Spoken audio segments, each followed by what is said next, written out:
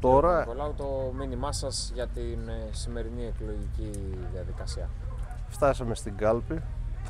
Ιερύτερος πολύ μιλήσαμε. Τώρα είναι η ώρα να μιλήσει ο λαός.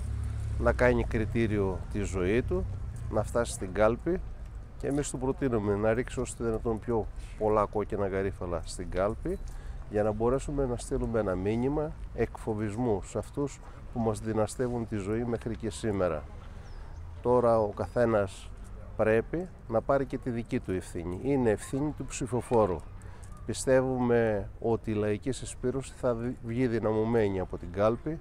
Ένα βήμα που έγινε στις βουλευτικές εκλογές παρά τον αρνητικό συσχετισμό δύναμης να μεγαλώσει ακόμη πιο πολύ γιατί η δύναμη της λαϊκής συσπήρωσης δύναμη θα είναι του λαού.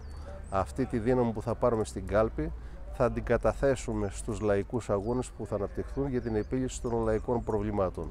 Γι' αυτό είναι συμφέρον σε κάθε κάλπη παντού να ψηφίσουμε λαϊκή συσπήρωση. Λαϊκή συσπήρωση παντού, δύναμη είναι του λαού.